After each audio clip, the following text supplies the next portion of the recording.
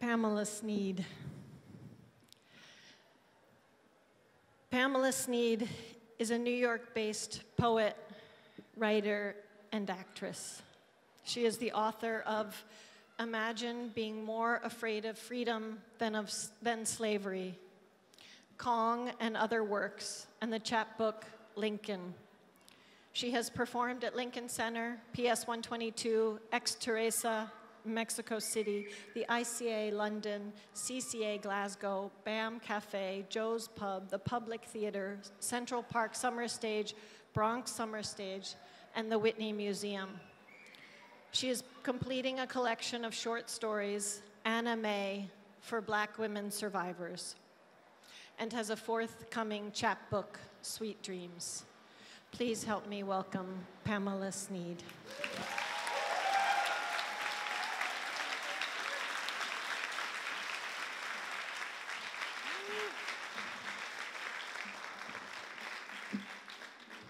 I feel a little overwhelmed. Um, we're a lot overwhelmed.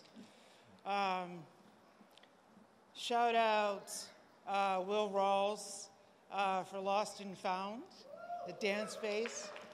Shout out School of the Art Institute, Chicago. Um, I want to thank um, Zoe and I want to thank the Highline. And so I have like a lot of uh, responses. Hmm, so,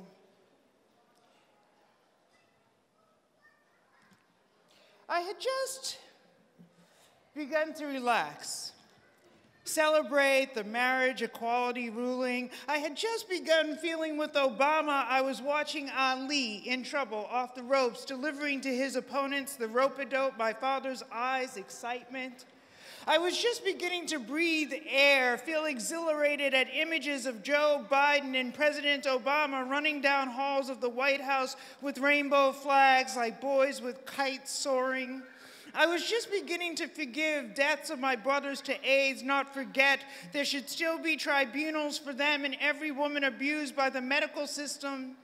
I had just begun to turn a corner on Mike Brown, Freddie Gray, Trayvon Martin, Eric Garner, the massacre at AME, not think of it all every day. And then the police killed this young black girl in custody in Texas, claimed she committed suicide. And I remember we're a war nation.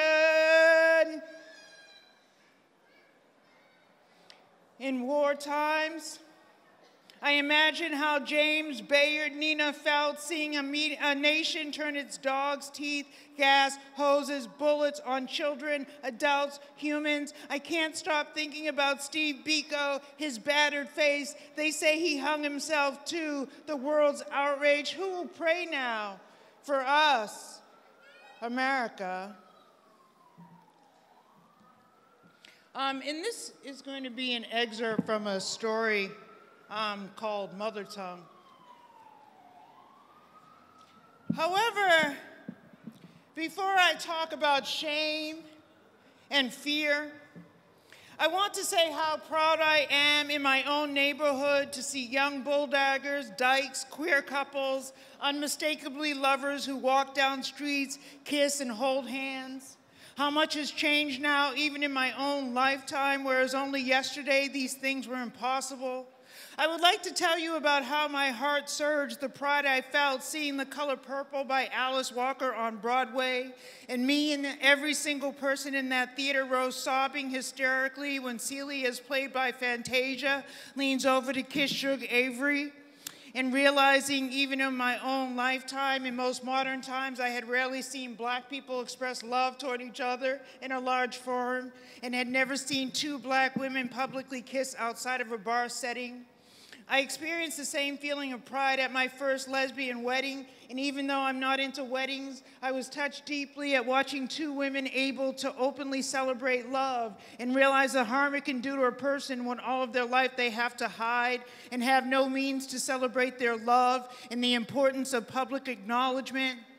I think too about slaves and how everything, everything they loved was torn asunder, and how the system separated and dehumanized them and said slaves had no capacity to love. And I want to tell you again about the pride and joy I felt the day I was with a woman watching her eight year old daughter play soccer. And afterwards, my lover's friend, uh, work friend approached and seeing something between us asked, Oh, is she your sister? And my lover looked at her and answered, No, point blank, she's my lover. And she said this when it could have been just as easy to lie or to avoid the question. And in saying all of this, I know no matter where I go and how long and how far, my heart will always be queer. I realize now, though, when I look at the women's community in much the same way Martin Luther King once looked over a crowd gathered at the Lincoln Memorial in Washington at those who wanted and demand recognition under the law, who no longer wanted to remain separate and unequal like him. I too have a dream. Like something at the end of that film Gladiator, where the slave becomes a great fighter and a defender of Rome. And at the end, when the soldier lays dying, he envisions Rome's greatness and then to go home to his family and rest. I, too, have a dream. Like unfreed slaves, those that worked the plantations died in sickness, childbirth, birth, infancy, field hand, sharecroppers, house niggas. I, too, have a dream. Like women suffragists fighting for rights to read, vote, work, leave the home. I have a dream like those Dahomean Amazons poet Audre Lorde once spoke of so valiantly, those one breasted warriors like turn of the century abolitionists and educators. I have a dream from Ouidah to Benin to Ghana to Mississippi, from Selma to Alabama, Sierra Leone, Massachusetts, Robben Island, South Africa, Johannesburg, Cape Town, Cuba, Mexico. I have a dream with the spirit of my ancestors' bodies' blood disintegrated into waters off the Atlantic, off coasts of the Caribbean. Allegra, Zerli, Shango, Oya. I call you in the name of Sakia Gunn, Matthew Shepard, Jorge, Steven Lopez, Mercado, Tyler uh, Clementi, and those young gays slain in a nightclub in Orlando. I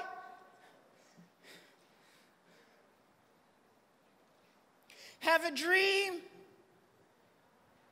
like those slain student, civil rights workers, spat at, kicked, maimed, ridiculed, scorned, left to die. I have a dream like the sons and daughters of immigrant workers. I have a dream like feminist poet Judy Grahn once wrote I believe in a circle, a gathering of women, a place where we love and protect and honor each other. I have a dream.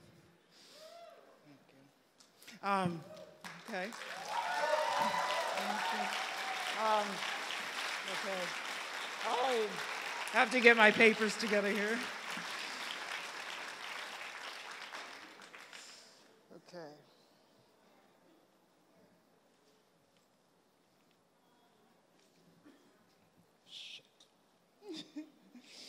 Okay. Um, I am grateful that Zoe's artwork exists and grateful to the Highline for posting it because I grew up in a world where even just a few decades ago, art like this displayed in, a public, in public was impossible. Being a dyke was a secret and considered shameful. Seeing and reading it, I have the same sensation and freedom I did of uh, when the city back in 2000 started posting subway signs and directions to the LGBTQ Pride Parade at 59th Street. And I remember a time before this when some of us had to sneak to the parade and carried our clothes in a bag and change downtown. And some of us were willing to uh, risk losing jobs, family, even death to experience who we were openly amongst our own people. Zoe's text acknowledges me as a dyke and a black woman and helps me to envision a future that I don't really exist in yet. It makes me feel a little nostalgic and teary as I, as I did the past, this past Gay Pride Month when the Chase Bank started posting pictures of a gay family on the ATM uh, home screens and said June is LGBTQ Pride Month. And seeing um, these affirming words and images in public about us still makes a great difference Some young person may pass here and read Zoe's text, and some adult will feel acknowledged, and seeing it here will save somebody's life. I want a president who is not a president. Though, of course, on Tuesday I am going to vote and vote as Audre Lorde once commanded, as if my life depends upon it, because it does. I want someone who doesn't believe, even symbolically, that one person uh, or one machine ro- ruling over the masses is even remotely a democracy. I want someone who believes that people, given the proper tools and path of accountability, can govern themselves. I want someone who believes everyone's voice should be heard and works to facilitate that. I want a president who is not a president, who knows that the system of healthcare and education is badly broken and needs repair. I want no more magic words, no more smoke machines, no more Botox fillers, no more offices, no more neighborhoods and businesses that, like toothpaste uh, brands, boast and brainwash us into believing in the amazing powers of whitening.